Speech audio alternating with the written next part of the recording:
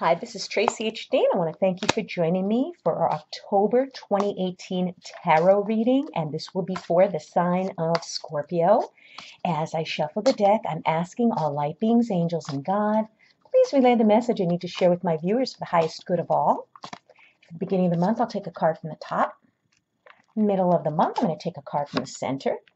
And the end of the month, I'm going to take a card from the bottom.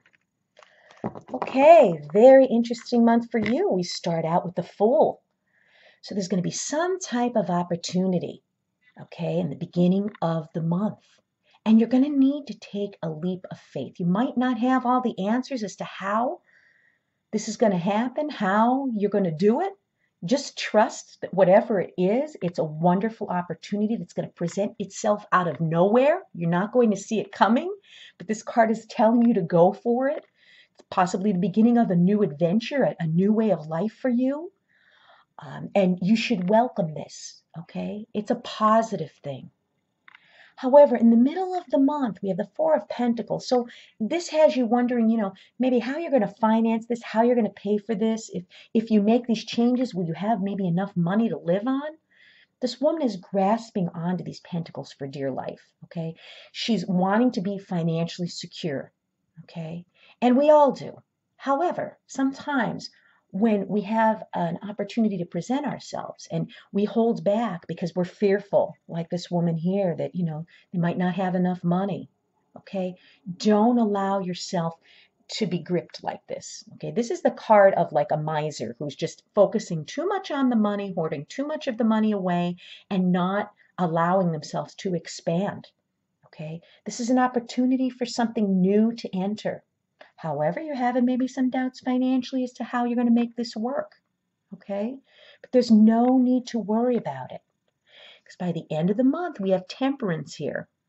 And it's a, a beautiful card with these angel wings. And with this temperance card, the energy that's coming up at the end of the month, what I'm feeling is there's going to be a need for some type of moderation or balance. Okay? Like I said, here you're going to have to loosen your grip okay?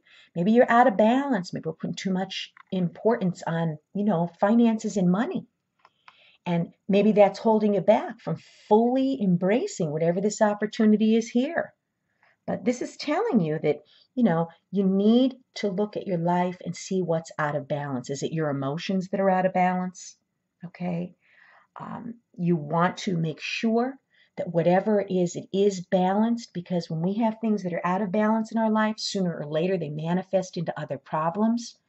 So take a look at what's going on in your life at the end of the month or what's been going on that needs to be balanced out. Okay. And whatever needs to be in moderation because we all overindulge. And as we know, overindulgence causes problems. We eat too much, we put on weight. We shop too much, we get into debt. So, whatever needs to be balanced out, you want to make sure you do that by the end of the month.